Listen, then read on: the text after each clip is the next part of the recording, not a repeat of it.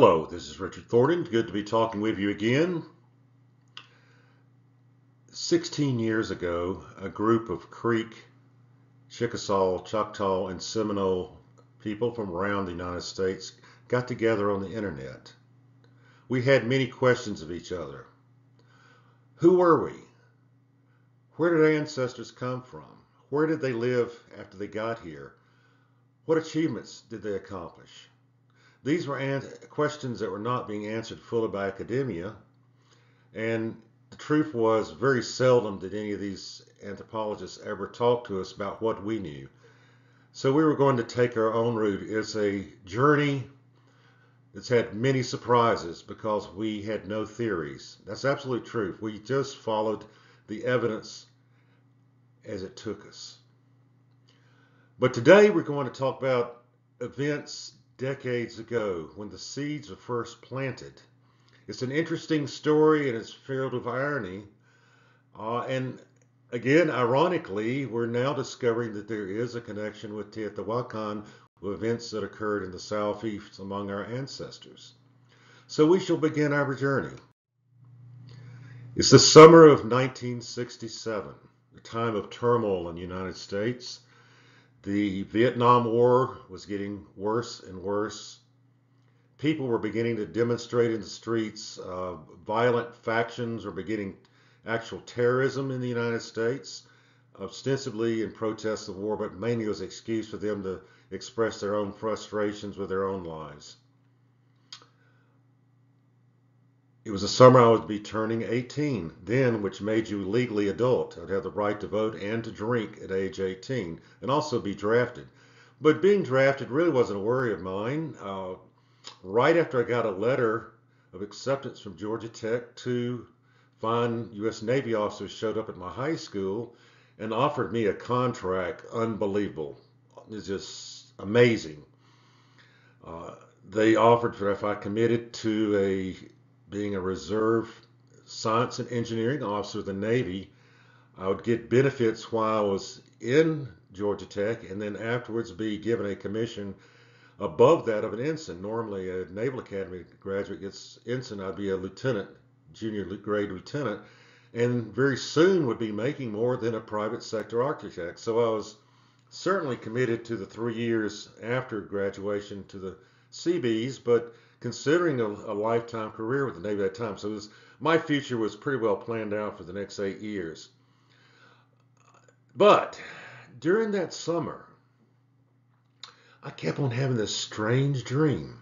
Now, keep in mind, I'd never been any farther west than Birmingham, Alabama, or farther north than Findlay, Ohio. And yet, the dream would begin in this arid valley, flat valley surrounded by mountains with vegetation is totally unfamiliar to me. I was an outdoorsy guy, but I've never seen these plants before, but yet I, I knew them in detail in the dreams. And around the mountains, they looked different than those in the southeast. They were rather barren looking. I would start walking towards the largest mountain. The uh, then I would start climbing this mountain, and it was nothing like the mountains I knew in the southeast, the Appalachians. Uh, they were rocky, huge gray and black rocks and interspersed with types of vegetation that I never seen before in person, but associated with the desert or maybe the arid west. There were uh, cacti and other types of strange olive colored plants. It looked just like this photograph. And part two will explain why it looks like this photograph. But anyway, as I got to the top of this high mountain, I came to a a Native American dressed in white clothing like a typical uh, campesino in Mexico, uh, wearing a hat, a straw hat, and I'd ask him directions. Where do I go from here? Where am I? He would say nothing, and he would just look around at his goats who were grazing in the brush around him. And finally, I said, Where do I go from here? And he pointed to his right, which would be to my left, towards up the mountain a little bit. So I followed that route I came to this wall formed of huge boulders. I climbed over the wall, and there I was in a kind of a vision of paradise. It was a beautiful green pasture surrounded by healthy trees, more typical of what you see in temperate climates. Uh, really a vision of paradise. And then the, the dream would end right there. Then a night or two later, I'd have the same dream again. I never understood it, and as time approached to go to school, I forgot about the dream almost and began my life as a student. But it would have great significance two years later, three years later. We'll move on. It all began with our sophomore term design project, which was design of a house on a Georgia island that was in a pristine natural state and had no electrical telephone service. It was uninhabited island. In that era, your grade on the sophomore term project generally determined whether or not you would be allowed to continue in the architecture program at Georgia Tech. I don't think it's that way now, but that was how it was then. It was a five-year program. A student could even have all A's in his or her other classes, but if he or she did poorly in that last sophomore architecture design lab, they would be expelled from the architecture school. They wouldn't be expelled from Georgia Tech, but they could not take architecture class again. They'd have to go into another career. Meanwhile, I believe it was around February of 1969, I saw a little note on the bulletin board of the architecture school signed by Dr. Arthur Kelly, who was director of the anthropology department at the University of Georgia. He was looking for a architect student to volunteer to prepare an ink on mylar plastic site plan of a famous archaeological site then on the Chattahoochee River called 9FU14. It was near Six Flags over Georgia it had gotten a lot of publicity in the Atlanta Journal Constitution and also had been featured in some TV programs. But the owners of the property, the Great Southwest Corporation, were requesting an as-built drawing to engineer quality scale to turn into the building department for Fulton County.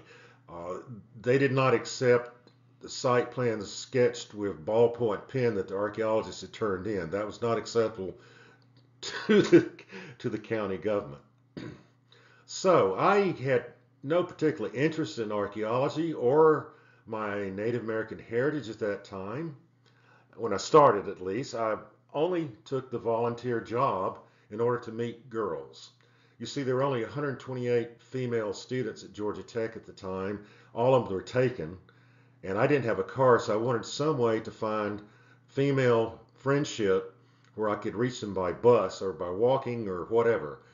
And by golly, I did do that. That was a successful part of the campaign. Meanwhile, back at Georgia Tech, we were turning in our design projects for spring quarter.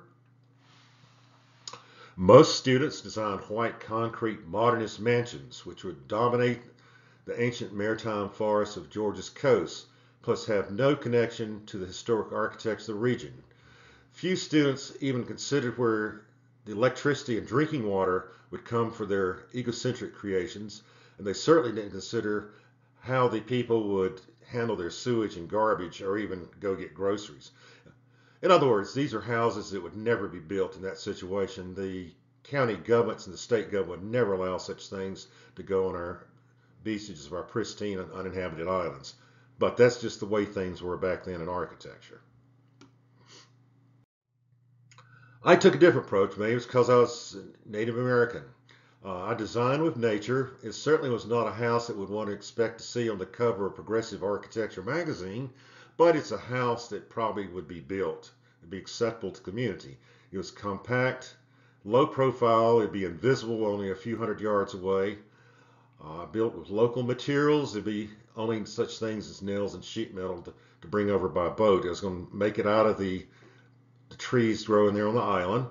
I used active and passive solar, which was then not the end thing. It'd be another decade before architects would be interested in such things. I used rainwater harvesting because the people had to have water. Uh, they couldn't drink salt water. Uh, the other architects didn't even think about that. It'd be about three decades before other architects would think about rainwater harvesting. And it was shaded by live oaks to minimize the load on air conditioning and I got an A minus. Hooray! That was a good grade in architecture. I felt good. I was go for the flow for finishing the architecture program uh, with that sort of grade. I, I was clear sailing, I thought, because I had other good grades in other classes that quarter too, so everything was looking up. But then later that week, My design lab professor changed the architecture faculty's jury from an A minus to an F. Oh my gosh. This meant that I'd be expelled from the architecture school. He gave me a D for the quarter, even though all my other scores on my other projects were A's and B's. Outrageous. It seems that uh, later on I learned that he, three days after the jury, this professor walked into the exhibition hall in the architecture school, erased the A on my main drawing, and marked in an F before some astonished onlookers. He told the students that I didn't look like an architect. Now, I don't know what that means. Was it because I was uh, masculine looking or muscular or too tall or he didn't like Native Americans to be architects? I don't know. It was never explained. But he also raised the grades of three of his favorite students who were in the cult like him. None of them ever graduated, however. I went immediately across the hall to the offices of the Architecture Department Director Paul Heffernan and told him what had happened. He responded that Georgia Tech's rules prevented him from changing grades made by professors. I said, wait a minute. Whoa, whoa, whoa, whoa, whoa. I had grades from professors, six professors and a formal jury. Then this guy came in and changed their grade. He had no role in the jury. I said, that's not the same thing, but he said he's nothing he could do about it. Maybe he thought I didn't look like an architect either. I was quite a bit more masculine than him, as you know what I mean. Um, but after learning that the department director had refused to do anything, despite the design lab's professors saying that I didn't look like an architect, a member of the faculty design jury, Ike Saporta, who was from Greece, secretly gave me a copy of the jury's review sheet showing that all six professors had scored my work from a B to an A+. plus. He told me to go up the hill right now to see Dean of Students Jim Dole. Well, it was raining, but I was very, very angry. And so I wrapped my drawings in sheet plastic and charged up the hill, doing a little profanity along the way.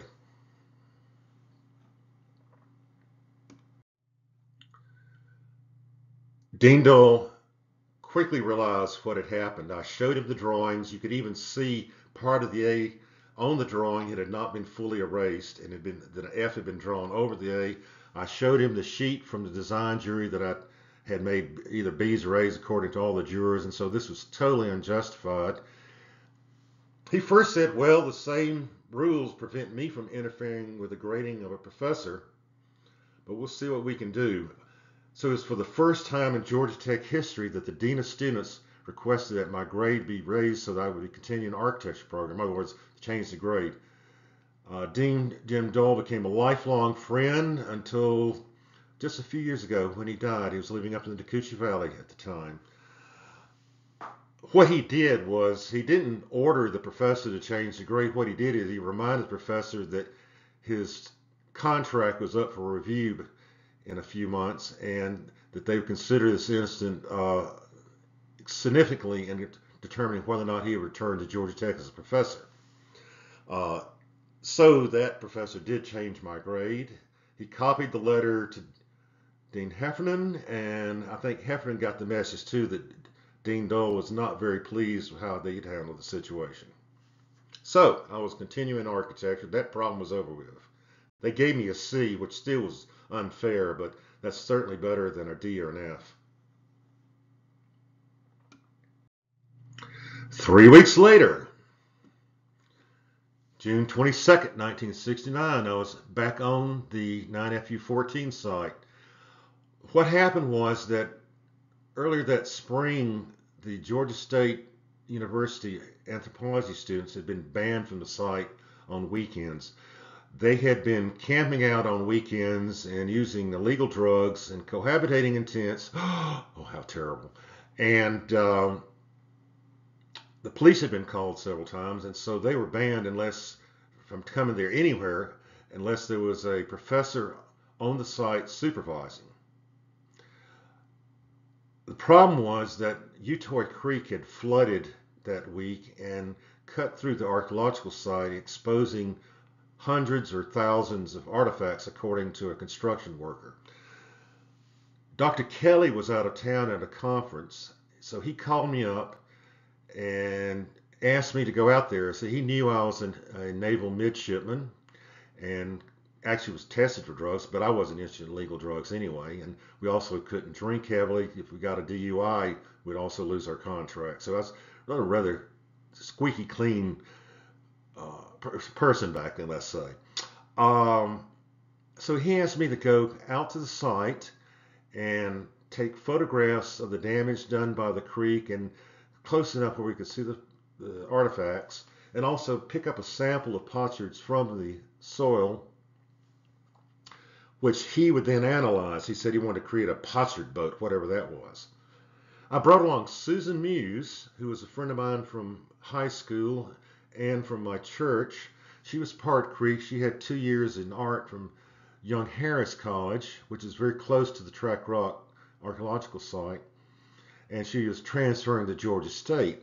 She went on to become a highly respected artist and art educator, and she spent most of her adult life living in Blairsville, which is the nearest major town to Track Rock. And in a touch of sad irony, uh, I later learned that she died of cancer at the very moment that the first program was being filmed there by the Travel Channel. So I, I, had no way of knowing it, but it was about a month before I learned that she had died.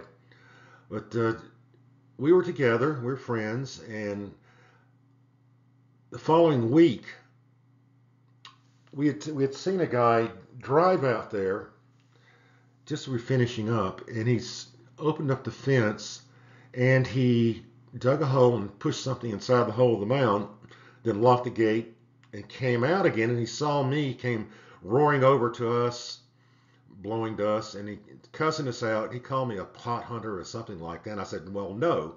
I was here because Dr. Kelly asked me to. You're not even supposed to be here. I had permission and you don't. And he said he was going to call the police. I said, Well, call the police, you know, and then they can call Dr. Kelly and say I was the one that's supposed to be here and you weren't supposed to be here. He drove on. well, the following week, newspaper had headlines that proof was found that 9FU14 was an agricultural village, that they'd found an, a stone hoe. On Monday morning, after the Sunday afternoon, we'd seen the guy messing with the mound. I said, uh oh, I think that guy put that hoe in that mound because he found exactly where I saw him doing the hole. Um, you know, but I was in home. I had other things. I was working a summer job, you know, just reading the news. But then two days later, the headlines from the newspaper and from the evening TV news was that Dr. Kelly was in big trouble and he was about to be arrested. That they were accusing him of stealing a stone hoe that he'd actually personally dug up about 10 years early at the at the uh, Mandeville site on the lower Chattahoochee River, and that he had stolen it from the architecture lab and planted it in the mound in order to make people think that he had found an agricultural site. Well, that was too much. I said, that's that's baloney. He shouldn't be framed. I don't know why these people are trying to frame him, but they were. So I called up the Athens police. At that time, there was not a campus police at University of Georgia, or very little. any criminal cases were handled by the city of Athens I told them what we had seen. I gave them Susan's name, and they called Susan. She verified everything I had said, and that let Dr. Kelly off the hook. He was not investigated any further. And then when the people involved realized that several professors and students at the University of Georgia were the ones who actually stole the hoe and did the whole thing, it was all hushed up. So no one was arrested and it was quietly silenced. But later on that year, Dr. Kelly was forcibly retired. Uh, he never taught again at the University of Georgia. What teaching or archaeological activities he had after that was at Georgia State University or independently. But he was a broken man as far as his reputation in Georgia was.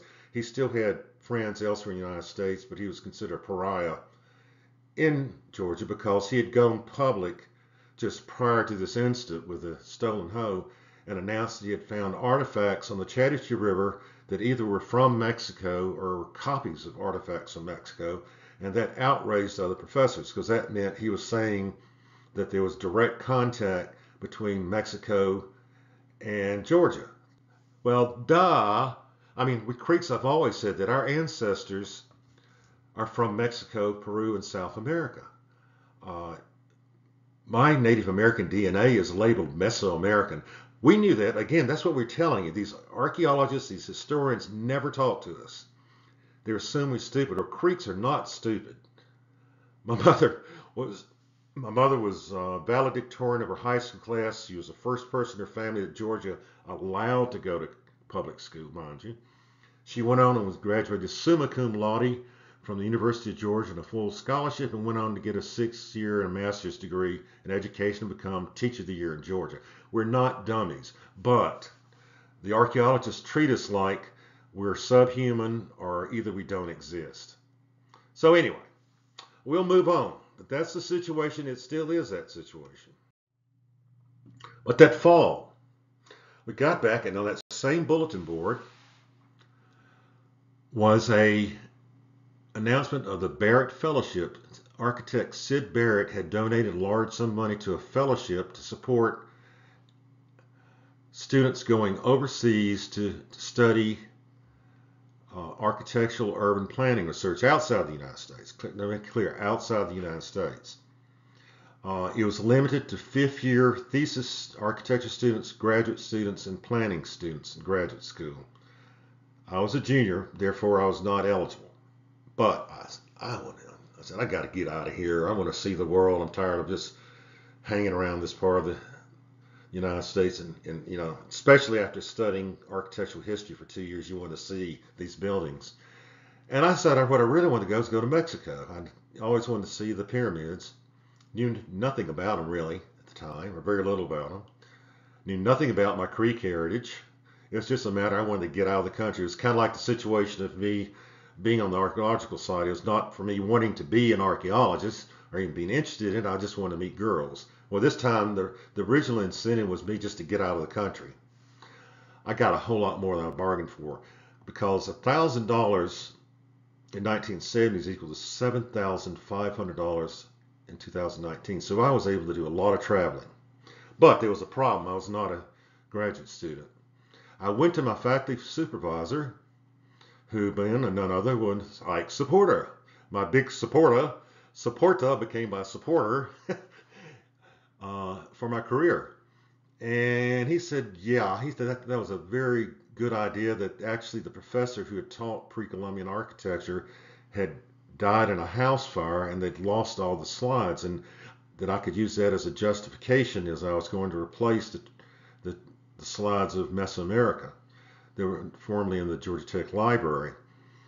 Um, so part of my proposal was to pair at least 2,500 color slides while I was in Mexico and Central America.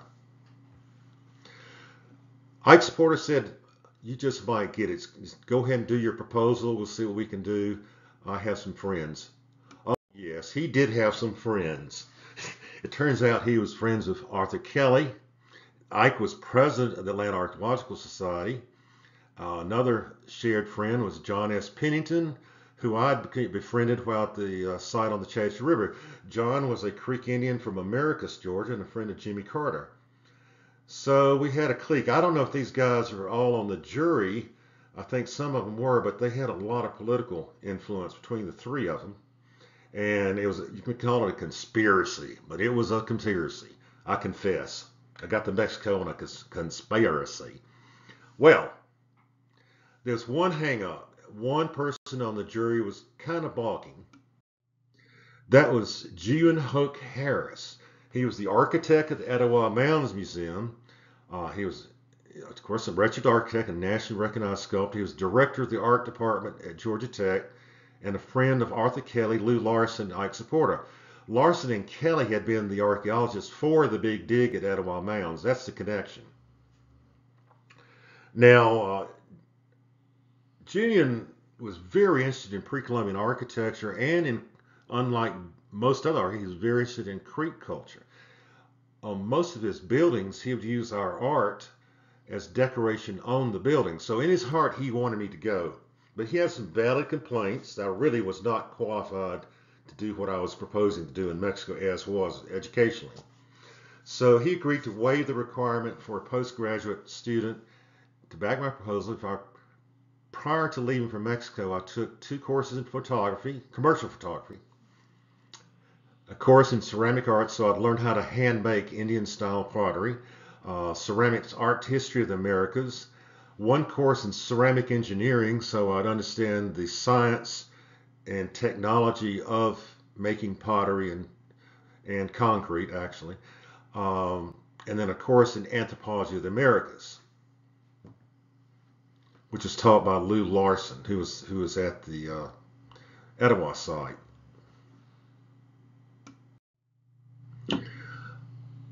Shortly after I was approved for the project, there was a little notice in the Atlanta Journal Constitution I'd been awarded the fellowship, and the Mexican consul saw it.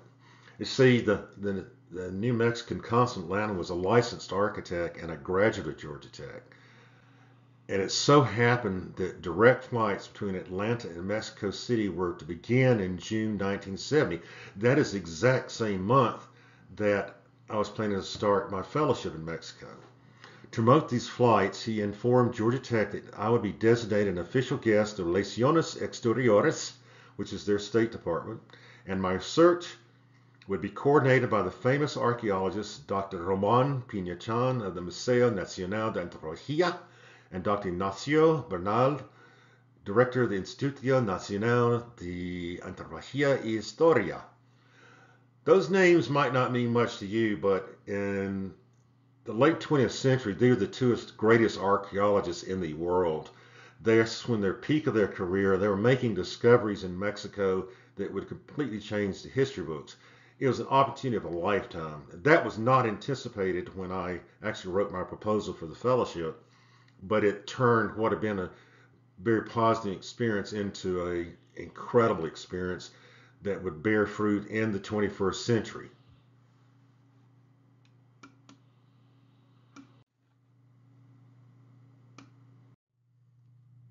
Mexico.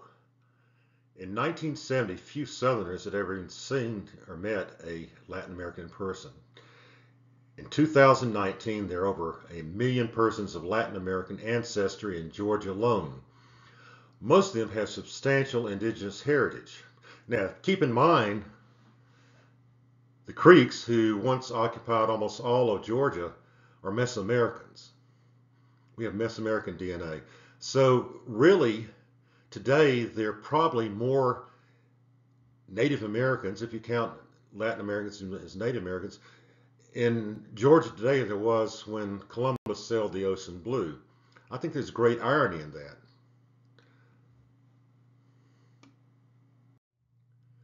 But young people watching this video probably do not realize how radically lifestyles have changed in the last 50 years.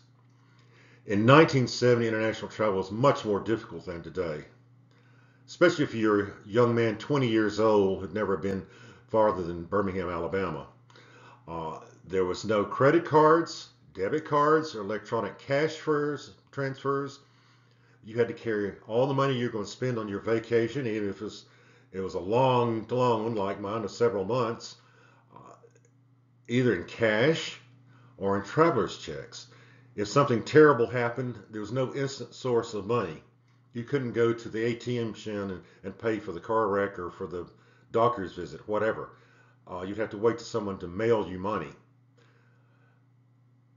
Cellular phones, personal computers, or fax machines did not exist. There was no way to send quick communication to another country other than by telephone publicly accessible satellite images or Google Maps did not exist. Uh, most of the time, I was in Mexico, all I had to work with were glorified highway maps. The, they, at that time, they didn't even have uh, what we call USGS maps. They do now, they have very good mapping, but back then they did not. So often, wherever I went, I didn't really know where I was going until I got there. Phone calls between Atlanta and Mexico City in the daytime cost at least a dollar a minute, which the equivalent seven dollars a minute today. So if I called home during the daytime, uh, I could easily run up a tab in a few minutes of forty dollars. at nighttime is about half that, but still that'd be $20, which back then would be a lot of money. That $20 back then is equivalent of $140 today. So there's the communications that we have now between parts of the world just did not exist back then. This was also the time of the opening of the international wing of the Atlanta airport, which until that time had been classified as a regional airport. I'll show it to you.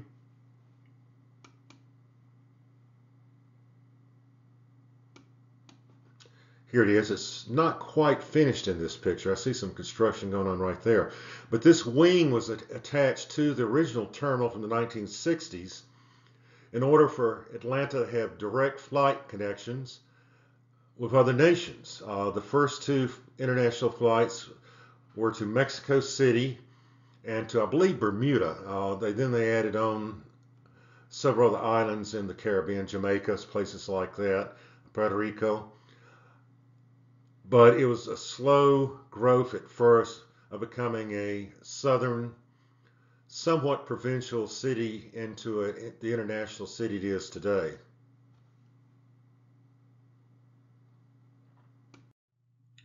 In 1970, metropolitan Mexico City had a population of 9,067,000. It's about the size of New York City while Metro Atlanta was 2,036,000.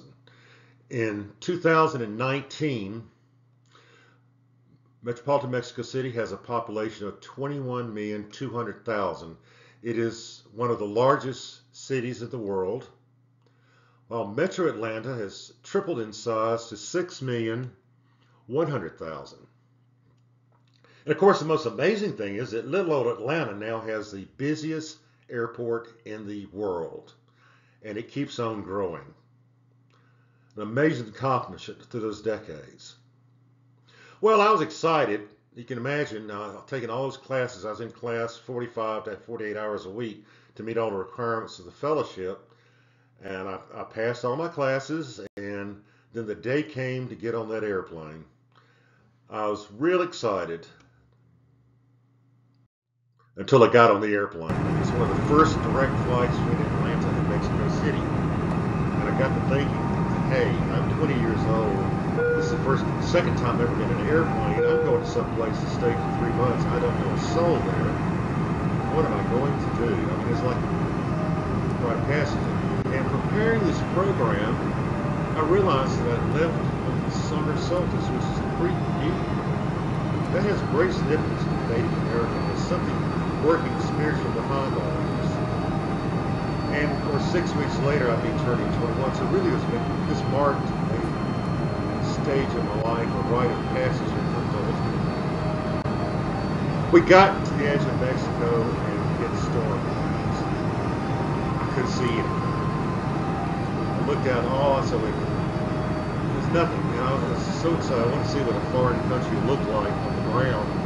And then big clouds, rough, stormy weather, thunder clouds, and so oh, now that made it worse. I started worrying, you know, you don't even know where you're going.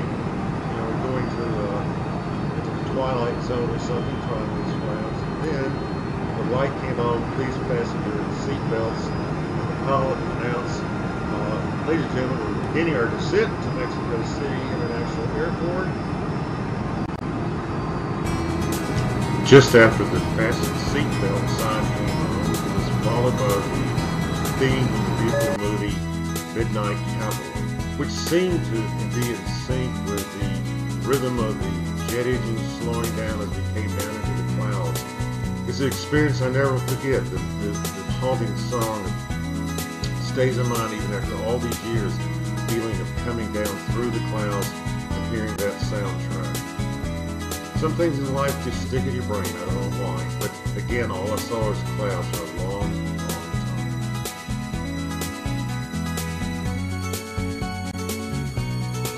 As the jet came lower in elevation, it suddenly appeared a clear spot out the window surrounded by clouds. I stuck my camera at the window and photographed it. And I was surprised to see it was all green. But when the slides came back from the developer, all I saw at the scale of a, of a slide viewer was just a incongruous jumble of shapes in various shades of green and gray. That was 48 years ago, and I never again looked at that slide until 2018 when I digitized many of our slides for Teotihuacan. When I blew it up on the computer, I was shocked to see that the first color slide that I took of Mexico actually had Teotihuacan in it. When you can see at this scale, yes indeed, I looked down and had picked up Cerro Gordo and Teotihuacan on the slide.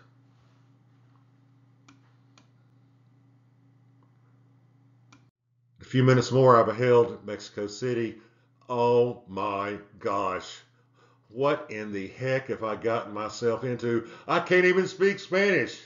With all the other classes they had me take, I didn't even have time to go to a Spanish tutor. I was about to land in a country with a city this big, and I didn't even know the language. moments after this, I took this picture.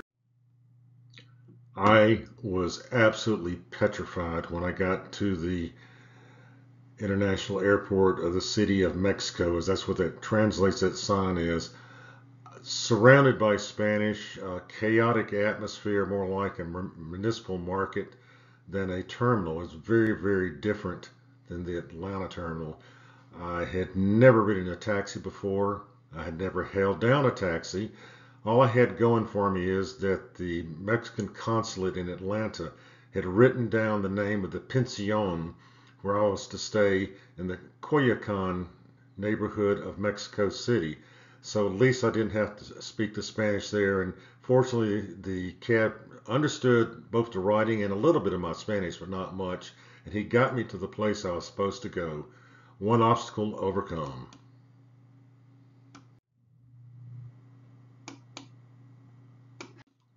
The name Coyoacan might seem familiar to some of you. That was where Leon Trotsky, the Russian Bolshevik, lived the last decade of his life where he was murdered. It is also the uh, neighborhood that Frida, the famous Mexican artist, lived. In fact, they were friends. And it, is, it has been rumored also lovers. But their museums were open at that time. Um, quite interesting as a part of history that was never discussed when I was in school, but now is more openly discussed in the 21st century.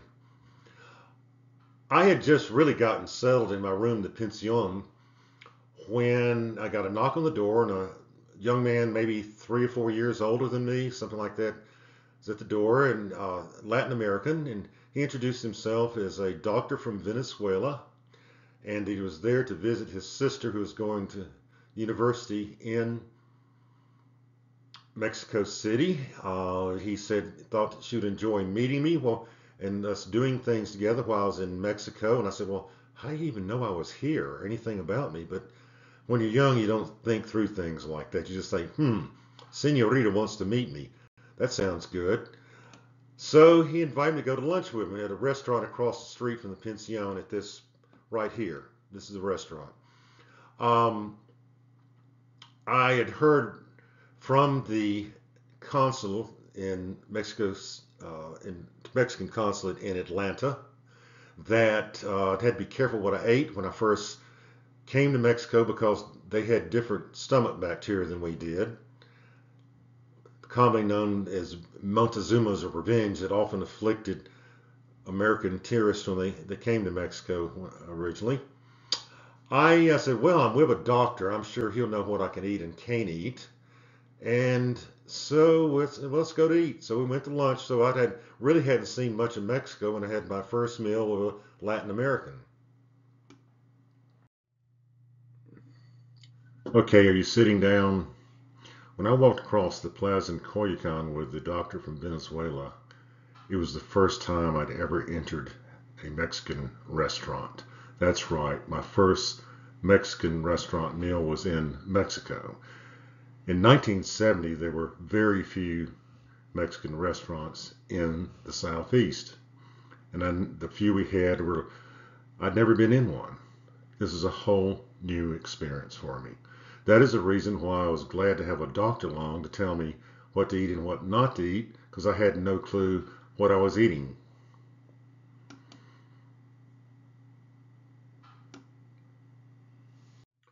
It was a buffet restaurant, so when we came up to the buffet table, I asked the doctor what would be safe to eat. He told me that the shrimp this time of year were particularly good and, and quite safe if you squeeze a little lemon juice on them. I figured he was a doctor from Latin America and he would know. So I grabbed me a fairly large plate of the, what looked to be some of the biggest shrimp I'd ever seen in my life. They did taste good, I'll leave it at that, but there were going to be repercussions. You'll learn about that later.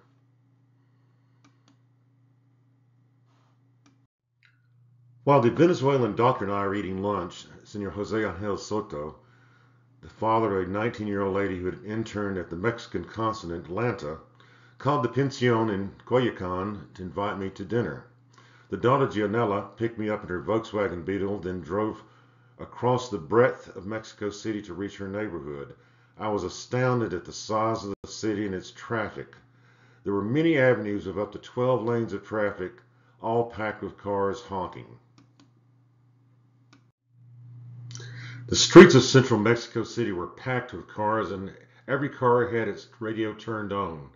I had unknowingly arrived on the day of the final game of the World Cup Championship, pitting Italy against the local favorite Brazil.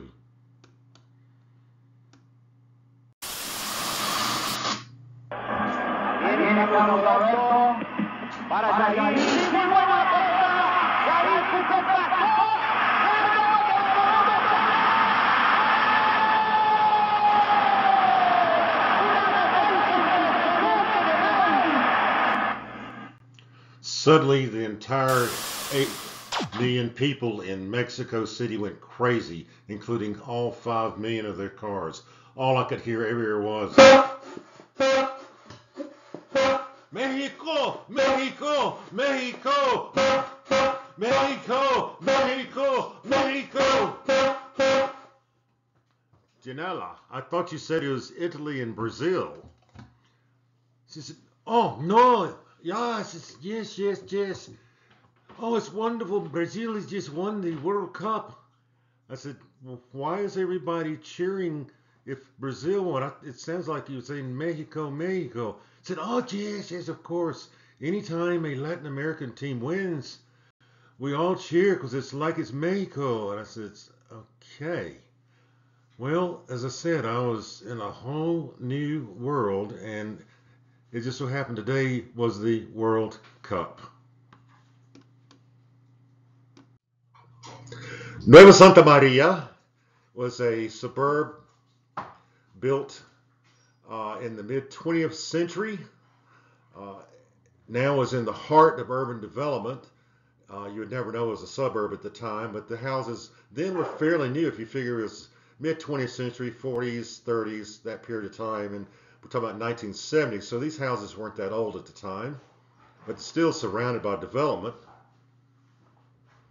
You notice Tlatilco, that's one of the most famous archaeological sites in Mexico, one of the first places where civilization occurred. It is mostly now houses. Over in this area was a park where you could see some ruins, but most of the, the town site was covered by development. It was it occurred in a time when archaeology had not as develop a reputation like it did now in Mexico. But I'd never been in a place like that in my life. I mean, it's, it's I might have been going to New York City. In fact, it was denser than New York City. So for an architect, uh, I was just had my mouth open that there were places like this where every square foot was covered in houses. This is a street near their house, Azcapotzalco. Uh, the name of the community was Colonia Nueva Santa Maria. Typical street scene. Most of the houses are two stories, 100% lot coverage. The streets had eucalyptus trees mainly on them. I didn't see any other types of trees, maybe a few oaks. But a very dense development. This typified thousands and thousands and thousands and thousands of acres in Mexico City look just like this. This is the, the burbs, if you can imagine it is a whole different world of street vendors, people yelling out, selling uh, food to eat, people on the streets. Very different feeling than any American city. We got to their house. It was quite different. It was one story, whereas most of the houses there were two stories. Uh, you notice it has grass. I think it was the only house in the whole Nueva Santa Maria that had grass, although their grass is about the size of somebody's outdoor deck in Atlanta. Uh, they had a gate here where they could pull their car in to wash it on the grass. They also had a garage and carport here. Uh, they had some type of tree that's kind of like a magnolia. I'm not sure. Maybe it's a tropical magnolia. And they had a rooftop house for their servants. This is one of them there. Euphemia was her name. And uh, was quite modern on the inside. It's kind of a 1950ish feeling to it. I think that's when they built the house and they had the same furnishings still. But it was quite a lovely meal. The Mexican middle class women really know how to cook. And since they have servants, they, at least back then they did, they could really put on the show. So we had a multi course dinner. After the dinner, the two daughters, Gianella, who was 19, and Alibu, who was 17, wanted to dance. Alibu's real name was Ruth, but as a young girl, she had thought she had been born in Hollywood, so she called herself Alibu, and that, that name stuck. They had just purchased an album by Creedence Clearwater Revival, and uh, they wanted to dance. Here I was a captive dancer. I said, "Do you like to dance?" And so we ended up dancing to about midnight, maybe 11 o'clock. It was late. Now we just danced. That's all that happened. We were just dancing, had a wonderful time. First in the living room, and then when the Sotos are about ready to go to bed, we moved over to the back of the garage. And that's where normally afterward we would dance so to get away from everybody else. So, so they would have to listen to the rock music.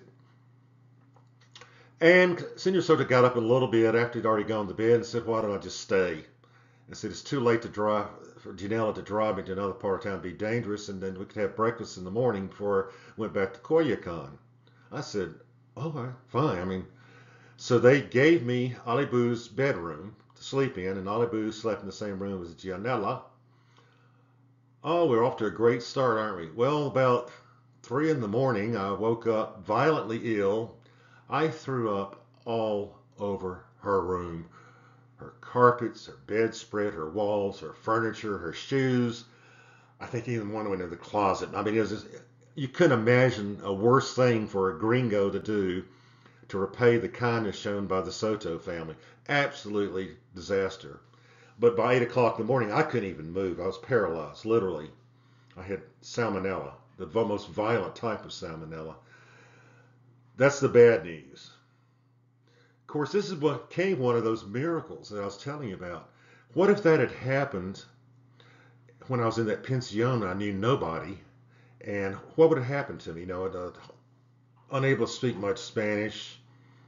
I'd run up most of the the fellowship probably for medical bills the first two days, and uh, I might have died. I mean, I was that sick. It's about the sickest I'd ever been in my life at that time. Well, more miracles. Not only was I with friendly people when I got deathly ill, but in addition to being a professor at the Politecnico in biology, Senor Soto owned a small pharmaceutical company. And guess what's one of the products they manufactured? The antibiotic used to treat salmonella. So he went straight over to his plant. It was kind of illegal to do that, but he, he knew it was a desperate situation. He called the doctor also, got his permission to give me the medicine. Uh, and brought back the treatment for salmonella. Then the, when the doctor came, he made a house visit, which would be unheard of in the United States to have a doctor coming to a house to treat somebody, but he did. The doctor gave me metabolic fluids and IVs, uh, plus antibiotics, plus something else, which probably saved my life. I mean, I might have died. Really was that bad. Maybe I was strong enough to somewhat survive after days, but it would have been a long haul to recover without the medical treatment. Another miracle. I slept around for a few days, but with the medication, I was able to walk maybe in three or four days, and within a week, I was not sick at all. In the meantime, I'd missed my appointment with Dr. Pina Chan. It had been set up, and he was going to be out of town or unavailable for two weeks. So we had about two weeks for me to kill before I got on my assigned activities. I had a list of archaeological sites I was supposed to see in Mexico City, but in addition, the girls wanted to show me the town. And that they did. I was like a small Georgia boy, town Georgia boy coming to the big city, and I did love it. It was like a world I never knew existed. Yee-ha! Radio Rama. Son las seis y media en la capital de la República. Canal X, E, Z, B, la de música de México.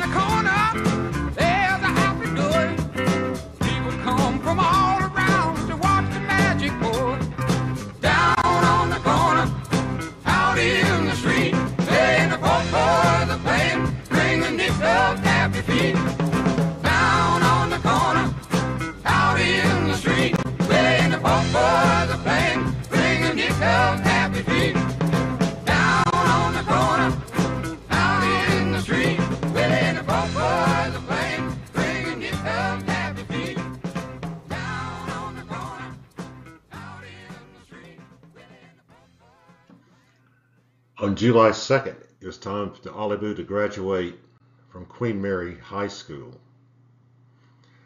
This is, was an incredible experience. It was not like a graduation in the United States at all. Most of the ceremony consisted of the students dressing in traditional Mexican costumes and performing folk dances.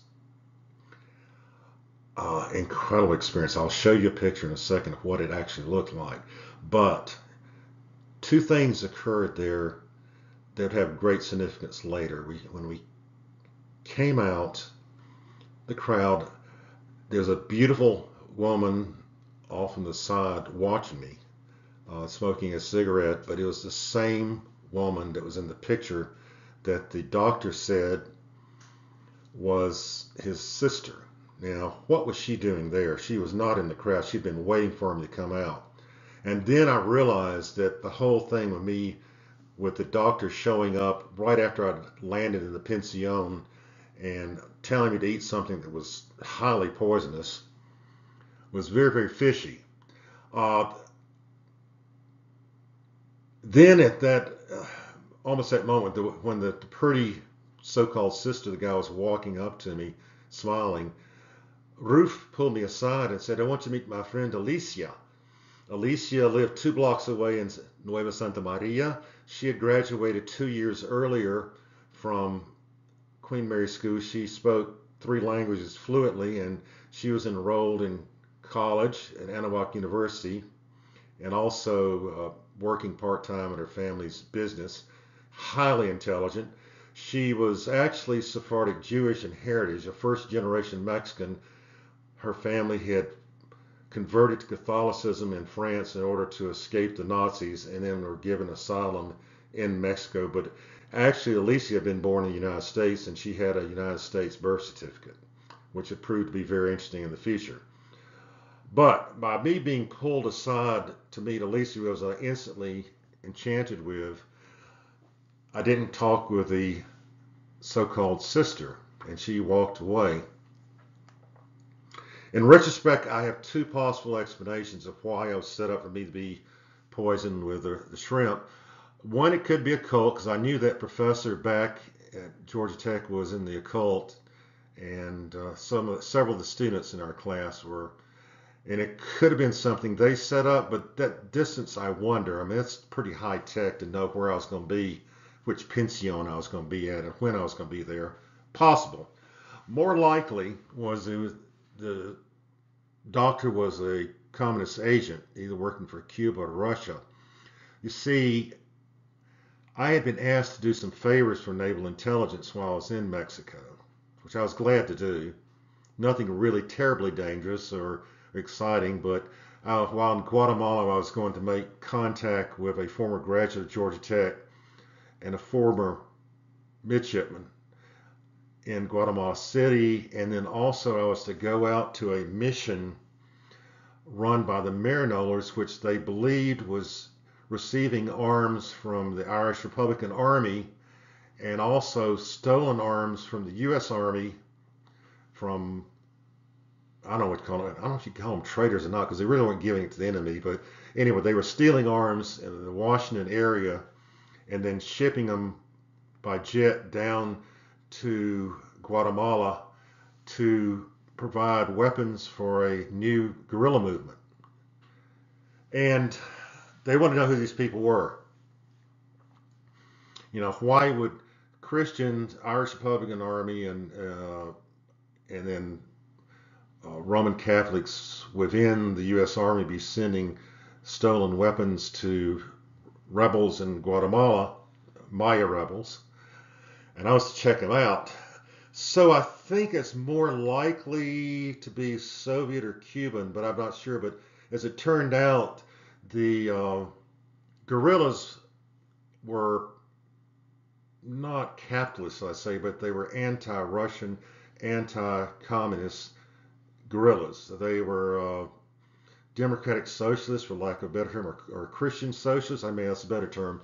But that's what that was all about. But I never really knew, and obviously, whatever they planned to do didn't happen. And, and actually, after the graduation, I never saw anything strange again. So maybe they just steered away. But it, the whole thing of me being getting getting sick on the first day was no accident. Well, before we end this program, I'm going to take you give you a little taste of what that incredible graduation ceremony was like.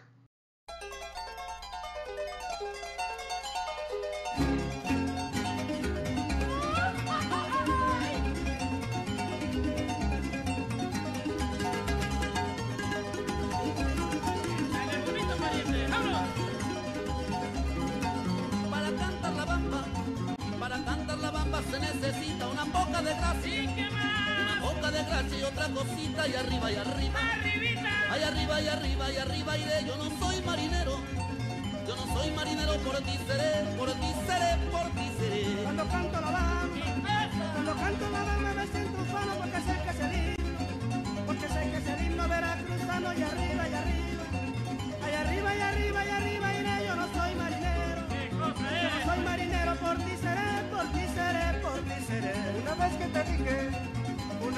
Te dije que eras bonita, se te puso la cara, se te puso la cara coloradita y And part two begins have our first day at the Museum of Anthropologia, and then we go to Teotihuacan. And we get to the meat of this program. You're in for many surprises. But as we part, uh, I want you to, as an ending part, gift for me to use a sample of the rich cultural life in Mexico today. This is from YouTube, but it's a street band, lovely people playing that, that typifies the rich culture of Mexico that you need to know. Often in the anthropological, archaeological programs that you see on TV, it's quite sterile. It doesn't give the whole picture of what it's like to be there, and you can't understand the emotions I felt when I was going up the mountain above Teotihuacan unless you understand the culture of the place there. We'll see you on part two. Thank you.